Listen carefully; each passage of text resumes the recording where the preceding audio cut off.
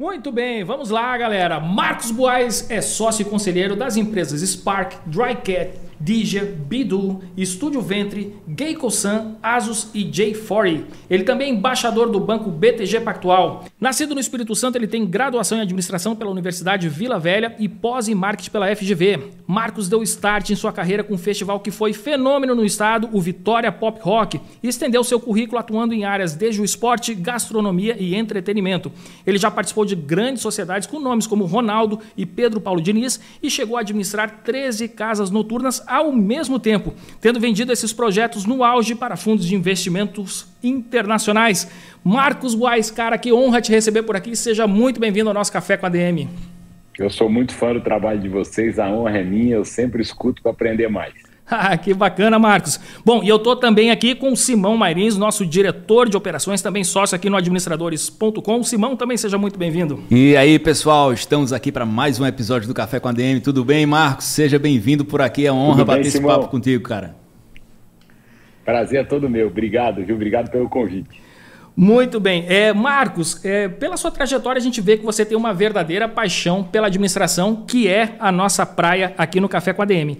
E seu ponto de partida, a gente não pode deixar de notar isso, né? É uma empresa familiar que é bem tradicional, já tem mais de 70 anos, é isso? Grupo Boys, é isso? 80 anos. 80 anos, cara, imagina só. E foi por lá que você começou. então eu queria que você contasse pra gente aqui como é que foi o começo dessa trajetória, como é que você se interessou por administração de empresas, enfim, e por que, que você optou em empreender né, em ramos que são fora né, do negócio familiar. Né? Meio que contrariando ali aquela expectativa que você desse continuidade aos negócios da família, né, Marcos? Conta aí pra gente, como é que foi isso? Bem, eu tive a honra de nascer numa família que pôde me proporcionar na minha infância o mais importante, educação, o que era ética, o que era moral, é, estudos de alto nível, com todas as possibilidades numa cidade pequena, que é Vitória, mas que meu avô é, junto com meu pai, construir um grande grupo empresarial. E eu tinha a possibilidade de ter mentorias nas nossas, nos nossos encontros de família. Né? Então, acabava escutando. Grande parte do assunto e papo deles era sobre negócios e empresa. E, naturalmente, pelo DNA, eu sempre me interessei muito é, pelo campo da administração, da economia e do empreendedorismo. E vendo tudo aquilo acontecer, toda aquela formatação, claramente o que meu avô tinha constituído, o que meu avô tinha construído, depois a contribuição que meu pai deu, eu via muito, com muita honra, com muito orgulho a história que eles vinham e que tinham construído. Mas eu sempre, desde pequeno, tinha uma inquietude de construir minha própria história. Que bacana, cara. E, e me conta um pouquinho, aí você foi fazer o, o na hora de escolher assim a, a carreira, é, que você optou no vestibular ou optou pela administração. Isso foi uma escolha óbvia para você? Foi fácil né, você fazer essa escolha? Porque normalmente quando a gente é muito jovem, pelo menos estou falando aqui por experiência própria, é, quando a gente chega ali no, no terceiro ano do ensino médio, é, é, muito comum o jovem passar por essas indefinições, né? O que, que eu quero fazer da vida? Qual é a carreira que eu quero seguir daqui para frente? A gente tem aquela ideia né, que parece que, que essa escolha né, tem que ser uma escolha pela vida toda. Quando você fez essa escolha, foi difícil para você, Marcos, ou era uma coisa muito óbvia a escolha pela administração? Para o que eu tinha vontade de fazer, eu acreditava que a administração, e foi o que aconteceu, era o curso mais completo. É, eu precisava entender como criar uma empresa, contabilmente, cuidar dela, fazer meu plano de negócio, entender o que era economia. Então, o curso de administração é um curso que te traz essa possibilidade de enxergar um todo para quem quer empreender. Então, para mim, fez muito sentido. Eu sempre fui muito defensor da teoria com a prática. Desde o primeiro momento que eu é, comecei a me interessar, a olhar os negócios da família e eu já estudando, eu propus ao meu pai e ao meu avô a possibilidade de construir um estágio comigo dentro do grupo. O grupo tem por sua natureza, tem pelo seu DNA a diversificação. Meu avô, quando chegou no. Meu bisavô, quando chegou no Espírito Santo, libanês, é, ele é, teve seis filhos, meu avô foi um deles, e meu avô sempre olhou muito para o campo da distribuição de produtos. Foi distribuidor da família Matarazzo de São Paulo. E depois, é um grupo que sempre foi muito diversificado, os Matarazzo, meu avô virou um industrial. Então começou a ter fábrica de prego, de sabão, de vela, de tudo que ele era distribuidor, ele passou a industrializar. E meu pai chegou para dar essa contribuição, para diversificar, mas focar muito numa questão dos resultados né, do lado empreendedor nesse sentido. Então eles eram muito complementares, eu tinha muita vontade de passar por cada área do grupo, sendo ele diversificado. Então, construindo para mim um plano de estágio. Esse plano de estágio eu começava na holding do grupo, para poder entender exatamente a empresa-mãe, como é que era toda a parte de gestão. E depois, o grupo, naquele momento, diversificado em áreas de comunicação, TV, rádio e jornal, na área de shopping center, um shopping na cidade de Vitória, e também na área de indústria, que é o que foi a grande fundação do grupo, que é a área de moagem de trigo e depois torrefação de café. Então, dentro desse escopo, eu passei pela holding e aí eu vinha passando pela parte da, uh, do entendimento maior como estagiário da parte da gestão da área de comunicação. Cara, eu estou impressionado aqui, Simão, né? Assim, por conta da variedade de negócios da Hold, né? E como que isso deve ter sido rico na, na sua formação, né? Como empreendedor, como administrador. É, como é que você enxerga isso, Marcos? Né? Assim, você passou por vários negócios do grupo, é, são negócios em ramos diferentes. E como é que você acha que isso ajudou a talhar o seu perfil empreendedor?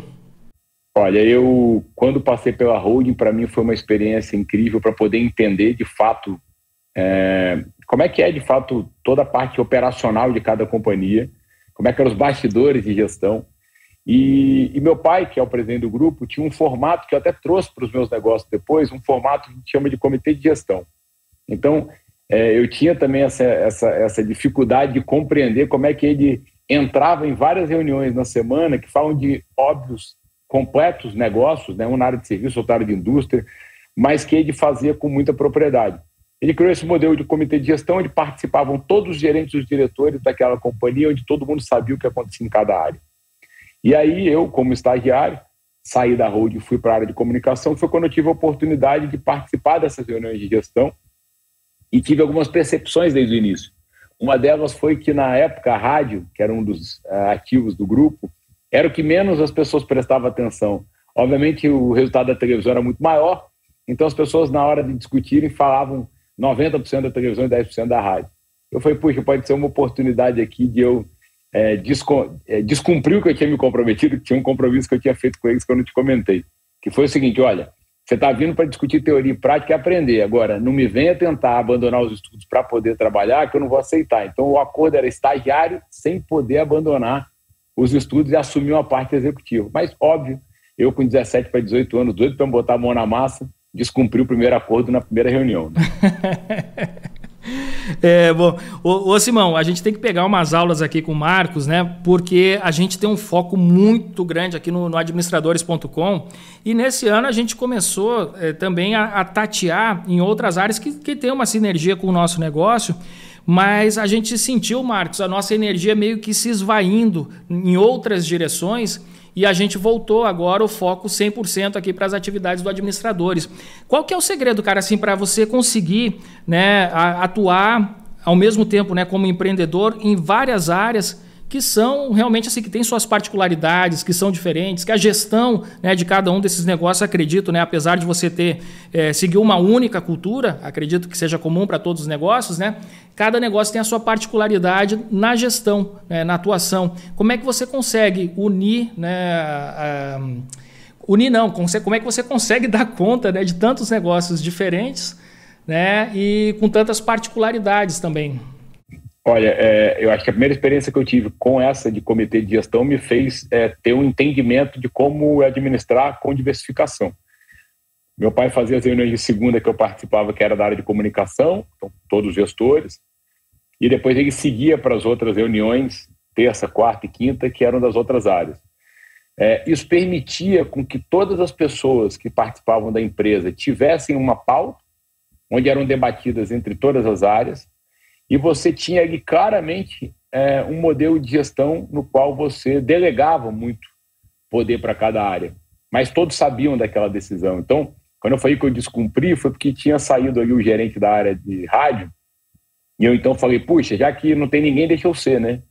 E aí foi a primeira experiência que eu tive focar. Eu tinha um foco. Eu falei, era uma rádio último lugar do público jovem na cidade de Vitória né, e no estado do Espírito Santo, e ninguém olhava para aquela rádio. Então, minha função era ir naquele lugar, era fazer com que aquela rádio tivesse expressão e fazer com que, de alguma forma, a gente mostrasse com o resultado que aquilo era possível. E em uns seis meses focado, a gente fez a rádio virar número um do público jovem e aumentar 260% o resultado. Então, Respondendo à tua pergunta, eu acho que diversificar é possível desde o momento que você tem um grande time, um time que seja teu complementar, ao mesmo tempo quando você está determinado a fazer alguma coisa e você aí sim constrói uma estratégia para aquilo acontecer. E foi exatamente o que eu fiz. Sua origem é o Espírito Santo. E você mencionou, né, que é uma cidade pequena, você está em Vitória, é uma cidade pequena. É, a gente aqui está em João Pessoa também, né? Então, é, daqui de João Pessoa, na Paraíba, a gente toca negócios que ganharam o Brasil e saíram do Brasil. Né? O administrador está presente aí na, na América Latina, tá, tem uma presença muito forte nos países de língua portuguesa fora do Brasil. É, mas a gente está fora do, do eixo Rio-São Paulo, principalmente de São Paulo, né, que é onde as coisas acontecem. É, e eu, eu, a gente sempre se identifica muito quando a gente pega um, um empreendedor que também está fora desse, desse núcleo, do núcleo duro ali. É, e a gente entende que tem ali algumas barreiras, e, e eu acho que isso é até positivo, porque a gente vai é, é, cavando espaços, construindo caminhos. Eu queria que você falasse um pouco sobre isso é, sua experiência. Hoje você tem negócios, você tem uma repercussão nacional que, que não, não se limita aí a, a, a, ao Espírito Santo. É, e eu queria que você falasse um pouco sobre isso. É, como você enfrenta essas barreiras de estar numa cidade pequena e como foi para conseguir espaço e chegar é, a uma repercussão nacional? É, eu não foi fácil porque eu sabia que para dentro da minha estratégia de construir a minha própria história, é, ser no Espírito Santo era impossível por algumas limitações, apesar de eu amar o Estado. Uma delas é que qualquer coisa que eu fizesse teria alguma correlação com a minha própria família.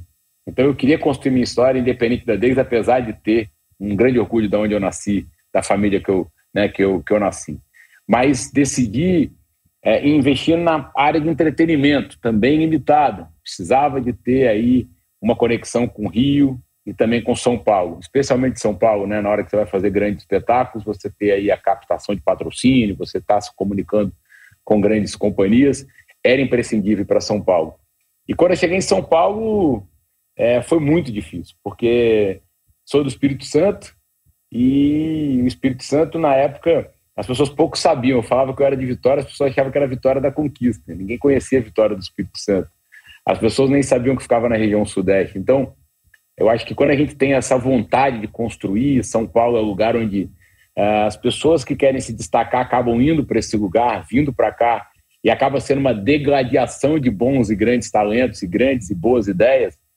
Quem vai ser respeitado, assim como vocês, é performando, é entregando talento, é entregando conteúdo, é entregando resultado. Para que a gente passe a ser respeitado a partir desse momento. Eu tive grande dificuldade de me posicionar e de me fixar, porque São Paulo é um lugar onde existe, eu brinco, uma certa monarquia de famílias que praticamente são conhecidas aqui. Se você não é da família tal, você não é do meio onde as pessoas é, te respeitam, mas graças a Deus, desde o primeiro momento em que eu construí um projeto, o primeiro grande projeto, quando eu vim para cá, foi uma casa noturna chamada Lotus, o resultado dela me deu a confiança de que eu pudesse é, começar uma nova história, tendo São Paulo sendo esse lugar onde eu teve, é, onde eu tive grandes conquistas, me deu minha independência financeira e me deu as coisas mais importantes da minha vida, que são meus dois filhos. Cara, que fantástico. É, ô Marcos, é, agora eu queria saber o seguinte, né? Você, como eu falei aqui no começo, você tem vários, já teve também vários sócios bem conhecidos, né? Como o Ronaldo Fenômeno, agora o cantor Tiaguinho, falei aqui do Pedro Paulo Diniz também. E, bom, a gente sabe que somente ser famoso não é um critério para a escolha do sócio, né? O que, que você leva em consideração quando você vai escolher os seus parceiros comerciais, né, os sócios que vão tocar junto com você um novo negócio? Na minha opinião, sociedade é algo que eu acredito muito. Todos os negócios que eu fiz na minha vida foram com sócios. Eu acredito nessa complementariedade. Eu acho que ninguém é bom em tudo. E quando você busca um sócio que quer complementar, é grande parte da possibilidade do sucesso do teu negócio. Agora, já tive negócio também com sócios que deram errado, né? e várias vezes me perguntei o porquê. E às vezes, na minha opinião, faltava essa complementariedade. Talvez a gente fazia a mesma coisa e acabava tendo esse impedimento. Sobre Pedro Paulo, Ronaldo, essas pessoas que a gente cita aqui, que são bem, pessoas que eu admiro muito, e a gente já foi sócio, o próprio Tiago, hoje que é meu sócio, eu costumo dizer que tem que tomar muito cuidado quando você é sócio de amigo. Assim. Eu, particularmente, com o tempo, com a maturidade, eu já digo logo, assim, entre ganhar dinheiro com um amigo é, e virar sócio e comprometer a amizade, eu prefiro ficar com a amizade. É tão difícil ter amigo que para comprometer eu prefiro não ter. Então tem que ter bem definidas as regras desde o primeiro momento. Com Pedro Paulo a gente fez a Host, que foi uma companhia de entretenimento, no qual é, fomos a maior companhia à época de 2004 a 2007 em São Paulo. Fizemos grandes eventos no Brasil, Hip Hop Manifesta, fomos sócios do Gilberto Gil no Expresso 222 da Fora. Fizemos as casas noturnas, as primeiras, a Lotus, por exemplo. Mas no momento que a gente também entendeu que a gente precisava dar um novo voo e que eventualmente a gente precisava se desconectar, foi uma decisão também em conjunto.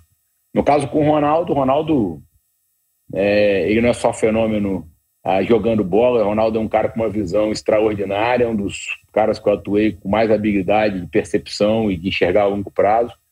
O Ronaldo tinha uma dúvida do que fazer pós-carreira, a gente começou a conversar dois anos antes dele parar e criamos uma ideia de uma companhia chamada Nine, era uma companhia de esportes e entretenimento, então cada um tinha seu DNA bem desenvolvido e bem definido, né? Eu vinha com o DNA do entretenimento, ele obviamente do esporte. Nós trouxemos à época é, uma grande companhia internacional, que é a do grupo WPP de comunicação, que foi nosso investidor, também uma companhia que deu muito certo com essa complementariedade e com essa boa definição. E com o Tiago, hoje somos sócios de dois negócios, é, que é a Drycat, que é um gin, isso foi uma conversa informal, a gente fazendo uma viagem entre amigos uh, em Nova York. Eu que tinha, como você falou no início, investido no entretenimento noturno, chegando a 13 casas. Eu tinha vontade de alguma forma voltar a esse movimento, voltar a esse negócio, mas uh, em outra posição. Eu tinha vontade de fazer uma bebida. E aí fui passar férias no Espírito Santo na pandemia Fui presenteado, o Thiago também tinha esse pensamento, então fiquei com isso na cabeça, a gente tinha esse alinhamento. Fui presenteado por um gin. É, quando vi a embalagem, me encantei. A gente tem essa visão mais de marketing. Quando vi o nome, me encantei duplamente. Aí, quando eu degustei o produto, produto premiado mundialmente, um produto originalmente feito no Espírito Santo, com DNA como o meu, mas com essa quantidade de prêmio, fez todo sentido aí a gente juntar força e depois, numa oportunidade é, com uns amigos que participam de um evento importante do Brasil na Universidade de Stanford, me trouxeram uma tese de uma oportunidade de investimento de seguro de vida, que é um, é um tipo de negócio que eu sempre olhei, que eu acredito muito, às vezes o Brasil olha pouco para isso, mas é, é, é, um, é um movimento, um crescimento forte e a gente também entendeu que tínhamos complementariedade. Então, a base, eu acredito muito na sociedade desde que ela seja complementar. A gente sabe que nenhum negócio, nenhum negócio, ele vai para frente. Você pode ser o melhor empreendedor do mundo, mas que se você não tiver as melhores pessoas do seu lado, né, você não consegue concretizar, tornar aquela visão empreendedora, que pode ser também né, maravilhosa, você não consegue concretizar, tornar essa visão realidade. Como é que você seleciona, então, Marcos, né, as pessoas que vão trabalhar com você? O que, que você leva em consideração? O que, que é importante? É, você ainda faz assim entrevistas para selecionar esse tipo de, de pessoas para trabalhar com você diretamente ou não? É, sempre na posição que eu tive como executivo, fazia, é, sempre tive apoio de importantes empresas que, que nos apoiavam na parte de headhunter, mas sempre olhando para a oportunidade de dar a chance de quem já estava no processo, quem já estava na empresa, que pudesse crescer. A pessoa mais importante no meu, é na minha estrutura Marcos Boaz de gestão financeira, é o Anderson, que é uma pessoa que trabalhou comigo na época das casas noturnas do campo financeiro, e hoje é CFO de todo o meu grupo, é, tendo vindo de uma área na época de shopping center. E ele foi o cara que cuidou de todas as casas noturnas. Então, muitas vezes a gente busca é, executivos, pessoas que estão muito voltadas e focadas apenas naquele tipo de negócio, mas tem muita gente boa que a hora que você troca ela de posição, assim como no futebol, ela exerce melhor aquele caminho. Então eu acho que é, tem duas formas. Eu acho que na hora que você está discutindo uma posição de liderança e um resultado mais rápido, eu acho que você tem que buscar é, essa pessoa no mercado é, que já tenha essa aptidão de, de resultado de liderança com DNA bem definido. Agora, no momento em que você está num processo de construção de algo que te permite pensar a médio e longo prazo, promover essa pessoa, dar oportunidade para ela crescer dentro do teu ambiente, dentro do teu negócio, é o melhor caminho. É, Marcos, eu estou com uma curiosidade aqui, que eu queria saber como é que você consegue né, gerenciar o seu tempo. E a gente já conversou assim com vários empreendedores, com vários CEOs por aqui. Nós temos, inclusive, um curso né, com Carlos Alberto Júlio, que foi CEO da Tecnisa, da Polaroid, da HSM, sobre gestão do tempo aqui no Administradores Premium. Mas cada um né, tem o seu próprio estilo de gerenciar seu tempo e gerencia muito bem. Eu queria saber quais são aí os teus segredos, aí, as tuas dicas na gestão do tempo, né, para conseguir dar conta de tanta coisa. Olha, é, essa é uma declaração que eu já dei em alguns lugares e, e tem pessoas que polemizam de alguma forma, mas vamos lá. Eu acho que tem tempo para tudo que você quer ter. Se você quer ter o teu tempo para fazer a tua atividade física, você tem. Se você quiser ter o teu tempo para estar com a sua família, com os teus filhos, você também tem. Se você quer ter o teu tempo para poder fazer várias reuniões por dia, você também vai ter. Tem que priorizar o que de fato é importante para você. Eu defini já há algum tempo que eu tenho um tripé que me move, que é a saúde, que é a fé e que é o conhecimento. Eu não abro mão dessas questões.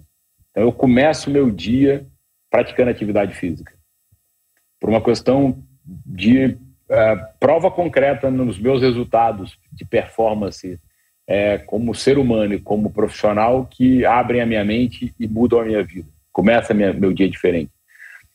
Os meus filhos é, hoje passam 14 dias do mês comigo. Eu levo eles todas as vezes que estou em casa em São Paulo, que é a grande maioria das vezes, eu levo na escola. É um momento que eu não abro mão para debater com eles o dia, é, para poder aproveitar esse momento com eles, que eu não, que eu não acho que acho que seja imprescindível para a nossa relação. E depois eu vou para as reuniões que eu tenho, seja elas hoje muitas vezes online, seja elas hoje muitas vezes é, com a prioridade de estar pessoalmente. Então, você tem toda a condição de estar também tendo no final do teu dia a oportunidade de estar conversando. Eu gosto muito de conversar com os jovens é, de universidade, me convido muito para bater papo com eles, eu saio de lá aprendendo muito mais do que chego para aprender, para ensinar, perdão, saio lá aprendendo bastante. Então também estou estimulando meu meu lado de conhecimento. Eu leio muito, gosto muito é, de poder ler biografia, me conecto muito com universidades hoje que estão é, construindo e discutindo inovação, que é uma área que eu estou bastante curioso. Então, voltando à tua pergunta, eu acho que dá tempo para fazer o que você quiser. Não adianta nada você, como várias pessoas me falam, ah, eu trabalho 20 horas por dia, durmo pouco. Essa pessoa vai ter um problema muito sério em curto prazo, porque quem não dorme bem vai ter um problema de saúde, quem não pratica atividade física também vai ter essa reflexão, como eu tive, tá? Importante dizer que eu vivi isso. Quando eu vim para São Paulo, é, você chega num lugar, vocês que são numa cidade menor, eu também que nasci numa cidade menor, a gente está acostumado a tudo ser muito próximo, né? Então, é, eu vejo minha irmã, que é uma diretora executiva do Grupo Boaz na área de alimento, ela consegue almoçar em casa, ver a família, faz, faz tudo muito rápido. Aqui em São Paulo é, é impossível você fazer isso. Então você tem que ter uma administração melhor uh, nesse teu tempo e nesse teu espaço. Mas é, é, é super importante você conseguir administrar isso, porque eu, quando cheguei, eu imergi no, no, processo de trabalho, porque eu queria resolver rápido, eu queria ter resultado, queria ter tudo muito ao mesmo tempo, muito rápido e acabei tendo é, um problema muito sério na época é, na minha saúde, porque eu tive, eu tive um cansaço absurdo, me vi é, indo para o hospital um dia é, com burnout. Então não adianta nada você ter capacidade de construir um império e não ter a capacidade de cuidar só de você. No mês passado, a gente fez uma pesquisa, a gente rodou uma pesquisa aqui no Administradores e, e publicou os resultados no, no final de setembro. É, e um, um, dado que me impressionou muito é que o, o, o, número de pessoas que relatam ter sofrido com burnout, depressão, ansiedade, ele é muito alto em todos os, os níveis. A gente perguntou, a gente fez a pesquisa, perguntou para profissionais é, é, do setor público, do setor privado, é, profissionais do setor de liderança, donos de negócios, funcionários, e a coisa ela é meio que equânime, aí é, todo mundo é, é uma crescente disso. E eu acho que por isso que isso é um assunto que precisa estar tá tá sempre em voga. Eu, eu, eu, eu acho que é uma preocupação que todo mundo tem que ter.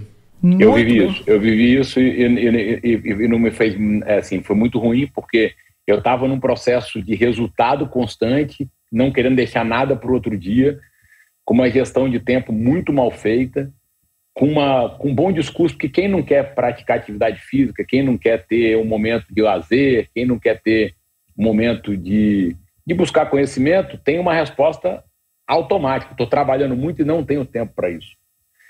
E no momento em que você vive o que eu vivi, você tem que parar. Né? Aí você, quando você para, você consegue fazer uma reflexão que, que ou você muda ou mudam você, que foi o meu caso. Então, sofriam uma questão muito ruim. Né? O, o Christian, que é um dos nossos professores aqui, autor bem conhecido sobre produtividade e gestão do tempo, ele, ele passou por uma situação muito parecida. E acho que foi o, a, a, virada de chave, né? Fiquei muito feliz de ter tido essa, essa possibilidade de ter vivido isso, apesar de ter sido muito dolorosa, mas foi a possibilidade que me deu a capacidade de me superar e, e poder viver essa vida como eu vivo hoje.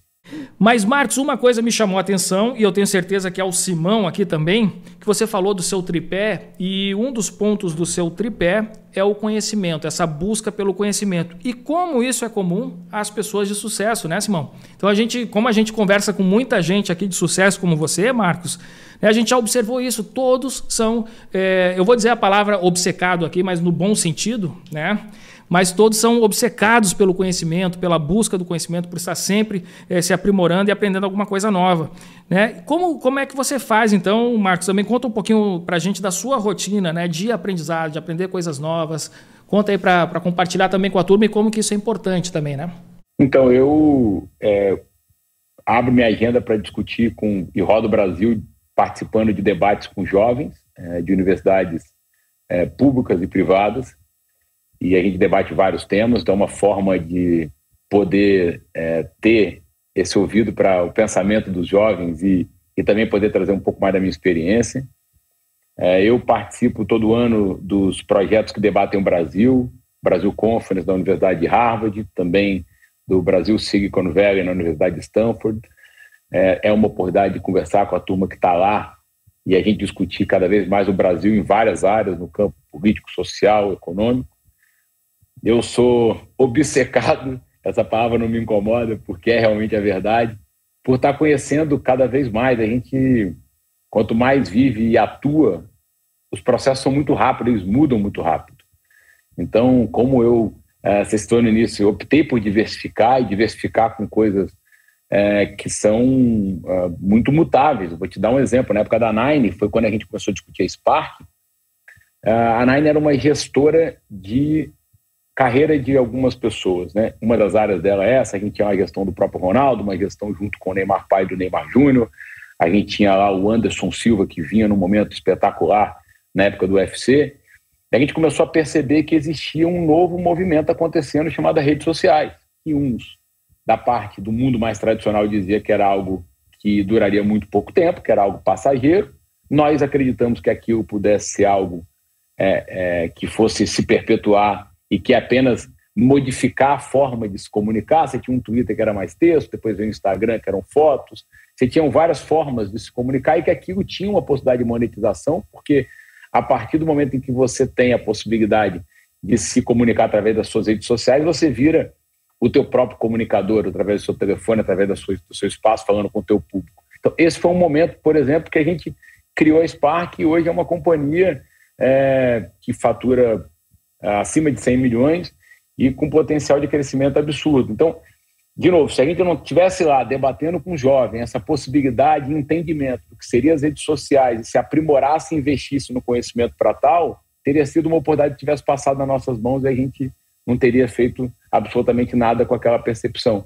Ao contrário, a gente se juntou de pessoas que tinham conhecimento, que eram complementares a gente, e acabamos construindo essa companhia que vem crescendo a cada ano. E, e uma coisa me, me chama a atenção, já ia te perguntar até sobre isso, Marcos, né? Como é que você desenvolve esse seu faro para negócios? E eu achei interessante que aqui você foi dando aqui as pistas, né? O diálogo com jovens, né?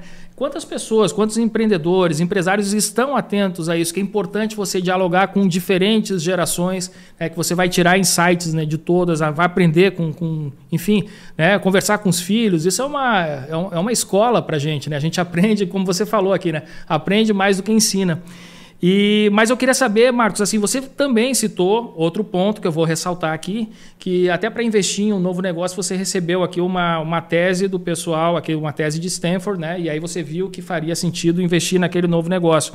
É, qual que é a importância? Estou vendo assim diferentes fontes aqui, né, que estão te dando ali algum indicativo de que caminho seguir. Uma, o diálogo com jovens, né, ver todo esse movimento que estava se formando, de redes sociais tudo mais. Outra, você pega aqui uma, uma das universidades mais conceituadas do mundo ali, uma das que mais é, preparam empreendedores, que é a Universidade de Stanford, né? E aí você pega um estudo realmente robusto e diz, bom, aqui tem um indicativo de um novo caminho a seguir nos negócios, vale a pena investir. Mas assim, de que, que você se cerca na hora de tomar uma decisão, né, de identificar que ali existe uma, uma oportunidade de negócio que você deve investir? Então, eu pegar alguns exemplos, por exemplo, Asus, que é essa companhia de seguro, é, eu primeiro, antes de olhar para esse lugar, eu olhei para uma dor que eu tinha vivido. Eu me vi discutindo em casa fazer um seguro de vida. E, e aí se discute com o com teu time de, né, de conselho da tua holding, mas melhor fazer uma previdência privada, é, melhor fazer um seguro de vida. Discutir seguro de vida às vezes é difícil porque a gente está discutindo é, a, tua, a tua morte, o futuro de quem hoje é dependente teu.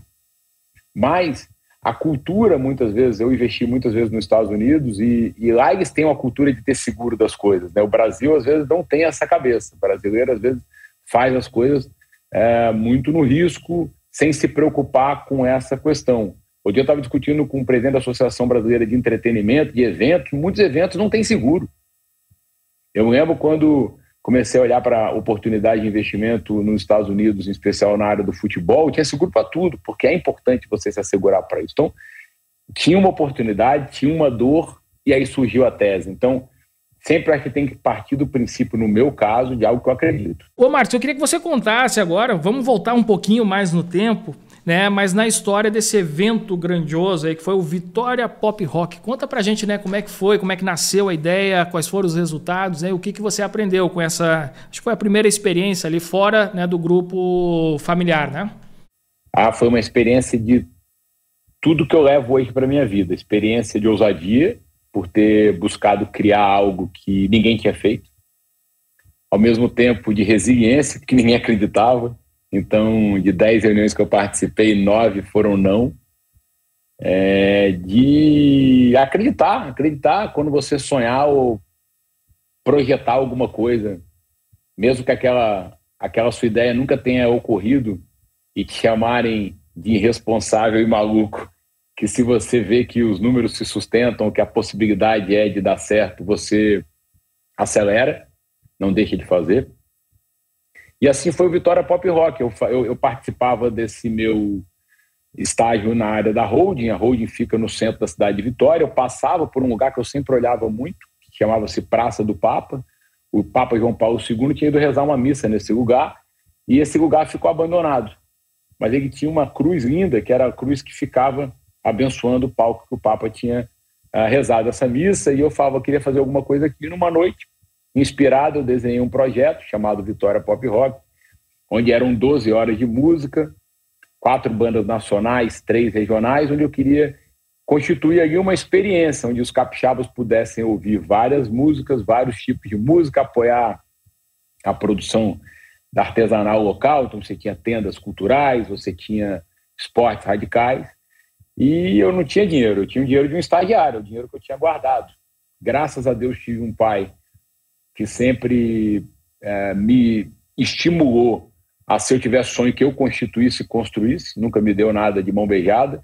Não é porque o sonho era meu que ele ia financiar, ao contrário, ele disse: se o sonho é teu, você busque alguém que acredite nele. E botei o projeto debaixo do braço com um único é, valor que eu tinha. Então, minha ideia era: se eu penso nisso eu idealizo isso, eu sei o que eu estou querendo, eu vou transformar isso num projeto virtual e eu aí saí em busca de apresentar isso para as pessoas. À época, eu consegui, na última reunião, convencer uma pessoa que era um diretor de uma emissora regional, que vinha da Bahia, de um evento parecido, e apostou. Foi meu sócio investidor. E o desafio era que eram 10 mil pagantes para você ganhar um real. Meu breakpoint even era de 10 mil pessoas, e aí sempre tinha uma discussão, porque o Roberto Carlos é capixaba, né? E o rei tinha colocado 8 mil pessoas como limite no ginásio. Pô, o rei botou 8 mil pessoas, quer fazer um evento para dar 10 mil em uma para você ganhar um real. Mas eu eu me constituí ali de um time incrível de bandas, na época era o era Cássia Heller, o Thiago Brau Júnior, o Rapa, J Quest, três bandas regionais. E graças a Deus foi um grande sucesso. Foram muitas noites sem dormir, Uh, foi muito difícil, porque é, quem faz evento sabe, tudo, tudo as pessoas decidem sempre muito em cima da hora, então você vende ingresso muito próximo do dia, mas eu consegui colocar lá quase 30 mil pessoas e, e foi um grande sucesso, que me permitiu ter a minha independência financeira. Aquele dinheiro foi o dinheiro que pagou a minha pós-graduação e me permitiu uh, dar o primeiro passo do primeiro round de morar no Rio de Janeiro. Cara, que fantástico, hein, Simão? Pô, venceu o rei. Venceu o rei não é para pouco, não. foi, foi muito importante aqui. E, e, foi, puxa, quebramos um paradigma do Estado e, entendemos que naquela, naquela, na verdade, não era um show, era uma grande experiência. E aí hoje a gente vê a quantidade de festivais que tem pelo mundo. E, enfim, nos deu muito orgulho que se transformou num evento anual na cidade de Vitória. Tiveram 10 edições. Cara, fantástico. E assim, foi o seu mergulho também no mundo do, do entretenimento, né? E depois disso você teve, né? Chegou a dirigir várias boates. Eu falei que foram 13 ao mesmo tempo, né, Marcos? E aí, bom, você acabou desistindo desse ramo depois de uma conversa com Luciano Huck. Eu queria que você contasse aqui, se você puder abrir né, detalhes aí, o que, que é, enfim, te motivou a desistir né, desse ramo. E só que eram, eram assim, você estava no auge, né? Com, com essas 13 boates ali ao mesmo tempo. Mas o que, que fez você dizer, bom, vou agora, enfim, passar para frente e investir em outros negócios, né? Na verdade, sou muito grato ao Luciano, um cara que eu admiro bastante, conheço há muitos anos, ainda antes da televisão. O Luciano sempre foi um cara com uma capacidade de, de enxergar a longo prazo acima da média. É um cara que começou a vida dele investindo em casa noturna.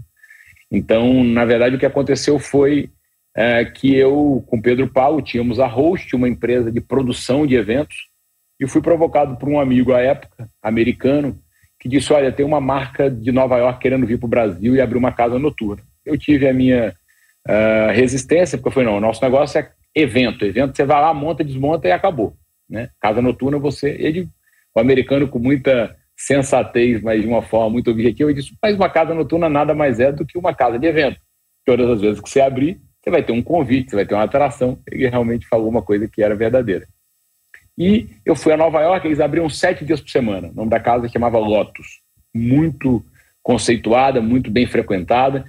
E me estimulei, só que eu falei para eles: olha só, a gente vai mudar um pouco a política. Se a nossa cabeça é um pouco de casa de evento, eu vou abrir duas vezes por semana. O americano quase que enlouqueceu, porque ele falou, mas você vai perder cinco dias de faturamento.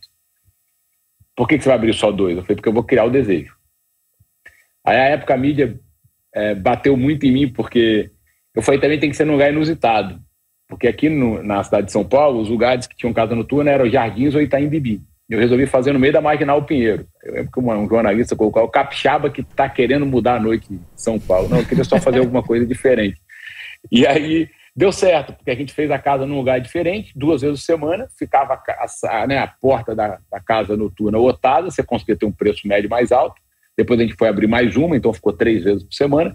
E aí eu aprendi é, que se tinha um bom caminho se você tivesse uma cultura de gestão de dia. Apesar de a casa abrir de noite, a gente tinha uma estrutura de pensamento de negócio de dia. Porque sempre que se fala disso, se fala de diversão, de farra, de confusão.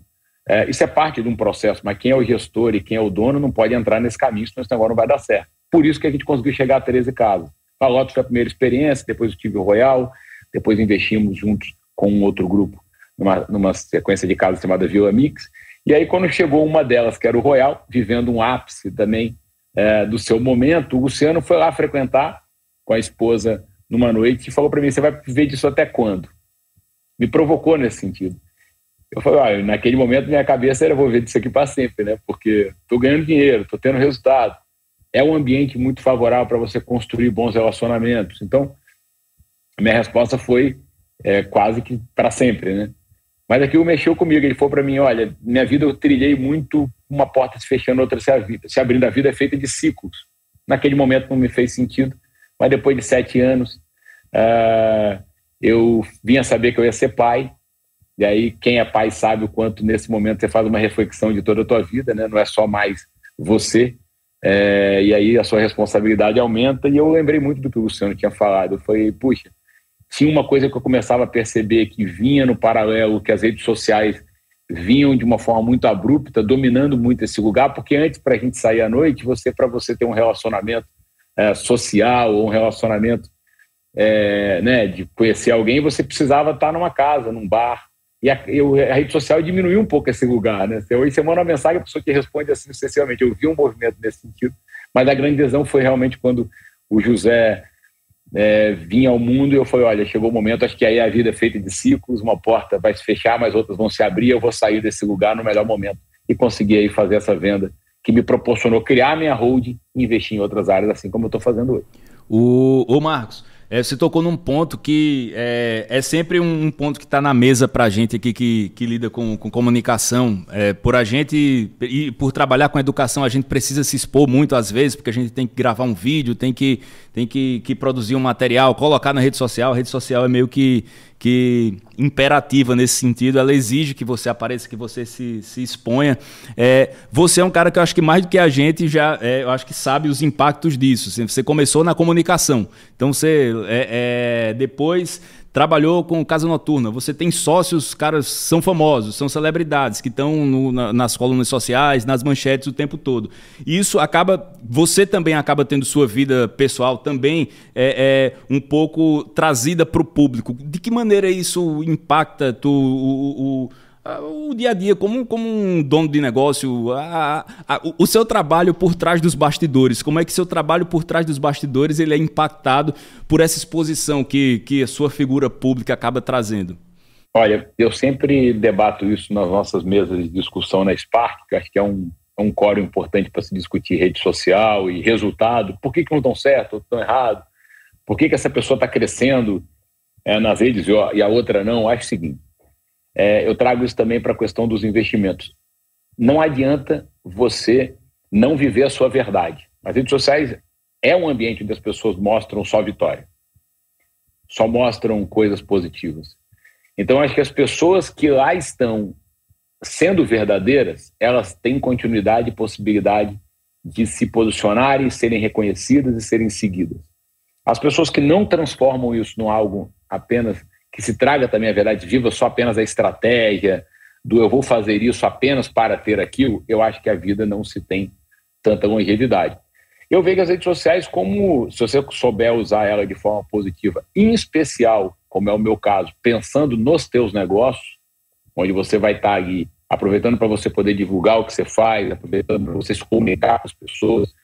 É, eu tenho tido, isso me alegra muito, nesses debates que a gente vem fazendo com jovens, muitos deles dizendo que as conversas que a gente vem tendo inspiram a eles, de alguma forma, a construírem um novo momento, uma nova forma de gestão, um novo pensamento sobre a vida. Então, e a rede social também, para mim, tem esse propósito, que é poder trazer, seja inspiradora, você trazer para as pessoas a verdade que você vive, para que elas possam também entender que você não acorda todo dia feliz.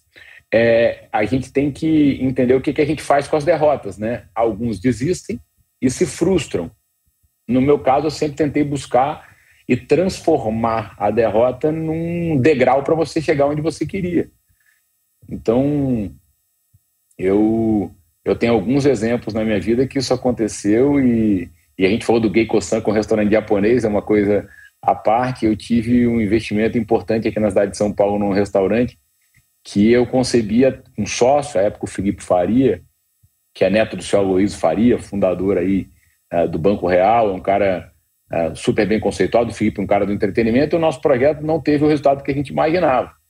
É, e aí, depois de seis, cinco anos depois, me propuseram investir no Geico. Os amigos mais próximos falaram, não, você não vai fazer isso de novo. Eu falei, não, vou usar o que eu não, que eu aprendi que não deu certo no outro e, e investir deu certo, porque a gente teve um erro básico, a gente não trouxe o nosso sushi man, à época era peça fundamental do processo, como sócio do negócio. Então, você tem que saber usar da tua derrota ou para desistir, que não é o meu caso, ou para você utilizar aquilo como fonte de experiência para você fazer melhor na próxima. Bom, Marcos, eu não sei nem como te agradecer aqui a presença no nosso Café com a DM, cara. Foi uma honra, né? uma verdadeira aula magna aqui contigo. Aprendi demais aqui. Simão, também tenho certeza, né, Simão? Muito, muito, muito. E foi um brinde aqui para os nossos ouvintes aqui, um café com ADM turbinado de cafeína, cara. Muito obrigado mesmo, viu, Marcos? Obrigado a vocês, eu sou fã do trabalho que vocês vêm realizando e contem comigo. Obrigado pela oportunidade, espero ter contribuído. Obrigado Valeu também, demais, Marcos. Um abração.